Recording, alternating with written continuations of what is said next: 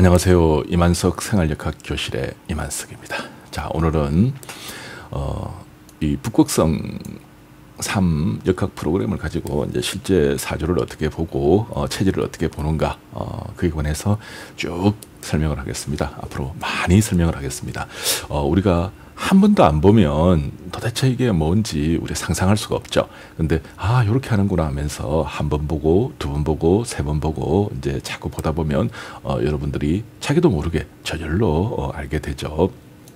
자, 어, 실제 사주를 한번 열어보겠습니다. 자, 견본 사주 어, 이렇게 해보겠습니다. 어, 실제 이름을 어, 이제 그 사용하기가 못해서 이렇게 적어봅니다. 자, 요 사람은 어, 여자고 어, 음력으로 1956년 음, 한 여름으로 해보자. 4월 29일. 그다음에 시간은 4시 정도로 한번 잡아보겠습니다. 4시면 9시에서 11시죠. 아, 여태 뭐 서머 타임이 있었다는데 어, 하기를 눌리시면 됩니다. 자, 이렇게 어, 사주가 나옵니다.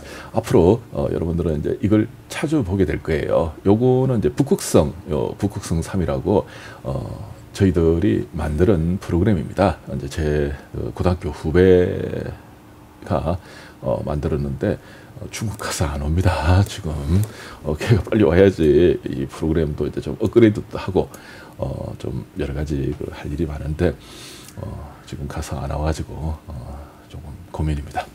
제가 중국을 가든지 뭐 지금 뭐 술을 써야 됩니다. 자, 어, 요게 이제 태어난 년이죠. 어, 이 사람은 이제 병신년에 어, 태어났습니다. 여기 태어난 달입니다. 어, 가보 월에 태어나, 아, 태어났고, 그 다음에 요게 태어난 날짜죠. 어, 요게 태어난 시입니다. 그래서 이제 태어난 년, 월, 일, 시. 그래가지고 기둥이 한 개, 두 개, 세 개, 네 개.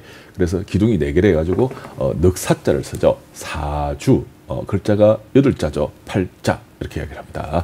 그래서 이제 사주 팔자를 보면 이제 그 사람의 어, 뭐 이것저것을 오만 것 때만 걸 어, 다알 수가 있죠.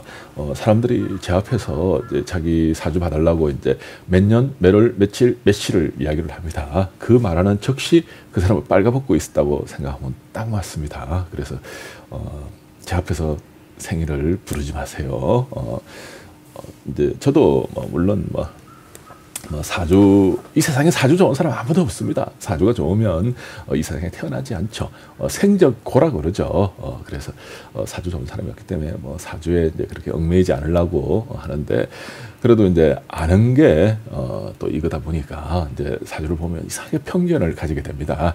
조금 이제 그런 마음이 있습니다. 이 상관이 있어, 아, 뭐할 말 하면서 사는구나. 이 편관이 이제 있으니까 좀 뿔딱 성질도 있네. 뭐 이러면서 이제 어 여기 보니까 목욕이네 좀 이제 뭣도 부리고 어, 마음이 좀 변덕스럽고 뭐 조금 착하고 뭐 조금 조금 이렇게 이제 막 오만그 때만글 어, 다 알 수가 있습니다.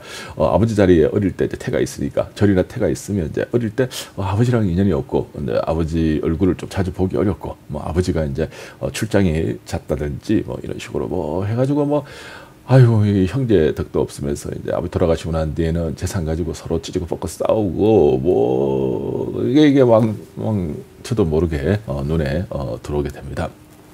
자, 그건 오늘은 뭐 그거는 빼고 어, 체질 보는 거를 한번 해보겠습니다.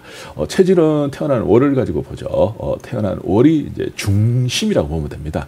우리가 뭘 하더라도 이제 기준이 있어야 되죠. 어, 그래서 어, 사주를 볼때 어, 특히 체질 어, 그거는 이제 월이 어, 월에 있는 오행 이 오행에 맞자 목, 화, 토, 금, 수 이 다섯 개밖에 없죠. 어, 오행이 중심이 된다. 어, 그 기준이 된다. 이렇게 여러분들이 보시면 되죠. 그러니까 뚝 보니까 벌건 거예요. 바로 화죠. 어, 이, 이 사람은 어, 화가 중심이 된다. 그래서 체질을 여기 적어놨죠. 체질은 화체 이렇게 이야기를 해버립니다. 자 그럼 어, 우리가 여름에 어, 태어났다 화체다 화가 중심이 된 체질이다 그러면 이 사람한테 제일 좋은 게 뭡니까 그렇죠. 수죠. 수. 어, 그래서 용, 어, 필요로 하는 거, 썰 용자를 씁니다. 그 용은 수다. 이렇게 이제 이야기를 어, 하고 있죠. 그러면, 어, 화체, 어, 이제 체질이 화체니까 수가 여기든 여기든 여기든 여기든 어디든 나머지에 좀 붙어 있으면 어떻게 됩니까? 좋은 사주다. 어, 음양이 어, 중화를 이루었다. 음양이 어, 바란스를 이루었다. 뭐 이렇게 이야기를 합니다. 어, 그러면 어, 이 사람은 이제 건강하고 뭐 병원도 자주 안 가고 또 가더라도 뭐 금방 낫고 그럽니다. 제가 그렇습니다. 제가 어, 저는 여기에 수가 있는데 이제 뭐 이제 목화가 좀 많습니다. 뭐 배우자 자리도 뭐 이게 있고 뭐 자식 자리도 있고 뭐 아이가 뭐 부모 자리도 있고 이게 뭐 여기저기 이제 억수로 어 제가 목화가 되게 많죠. 그러다 보니까 뭐 지금까지 뭐 아파가지고 뭐 병원 저는 어려움이 어려움이 되는 게 지금도 아깝습니다. 어 그래서 어 뭐 아주 건강하게 어 지금까지 잘 살아왔죠. 자, 근데 이 사람은 딱 보니까 화가 주체를 이루었는데 옆에 또 화, 화, 여기 화, 그리고 목은 어떻게 됩니까? 목생화 해가지고 이제 완전히 뭐 불꾸리를 만들어 버리죠. 그 다음에 금은 조금이라 그럽니다. 우리가 가을이 되면 모든 게 다 마르죠.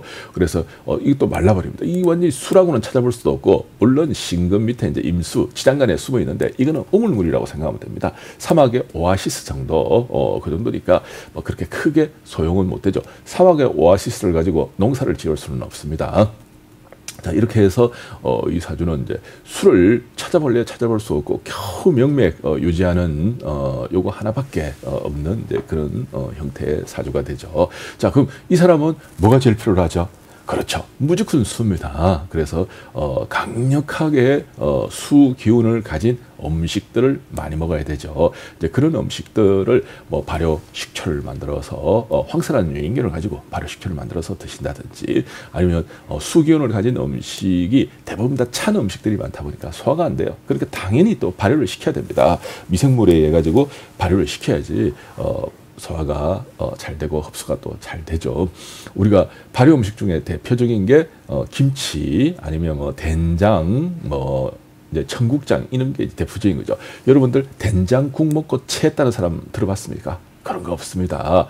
어, 된장 먹고 취한 사람 없습니다. 어, 된장은 어, 발효 음식이다 보니까 절대 체하지 않죠.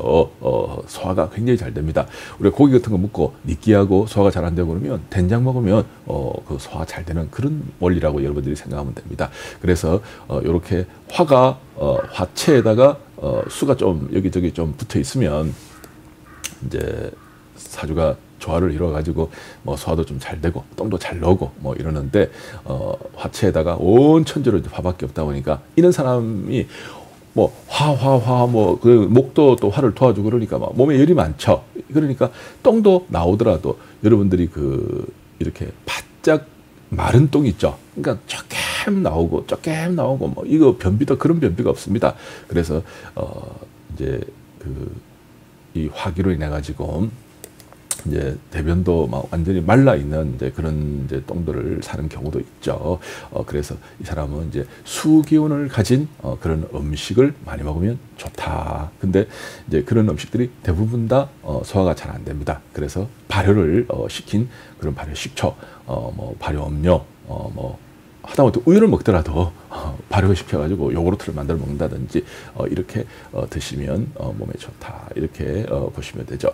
자 이제 요게 대운입니다. 이제 이 사람이 이제 10살, 20살, 30살, 뭐 40, 50, 60, 70에 이제 어떤 어, 대운으로 흘러가고 요게 해운이죠. 어, 올해는 어떻고 어, 내년에는 어떻고 그 다음에는 어떻고 요게 달입니다. 어, 이렇게 해서 뭐 이거 풀이 하다 보면 한도 끝도 없죠. 자, 이제 어, 요 사람 체질 보는 거 오늘 말씀을 드렸습니다. 이렇게 해가지고 계속 한 천 명 정도 어, 제가 한번 풀이를 해볼 생각입니다. 뭐 저한테 뭐 사주 풀이 한 천 명 하는 거야. 뭐 사실은 뭐 새우깡 하나 먹는 거하고 똑같죠. 이렇게 어렵지는 않습니다. 자, 그럼 틈나는 대로 하겠습니다. 제가 앉아가 계속 사주만 풀 수 없기 때문에 어, 저 찾는 사람 무지 많습니다. 어, 조금 전에도 하다가 전화 와가지고 두 번이나 어, 영상을 중지하고 또 만들고 또 만들고 지금 하고 있습니다.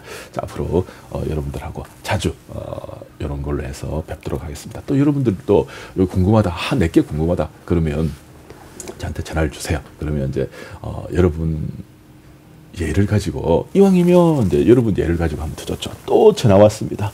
어, 또 전화 와가지고 이제 끊어야겠습니다. 자, 감사합니다.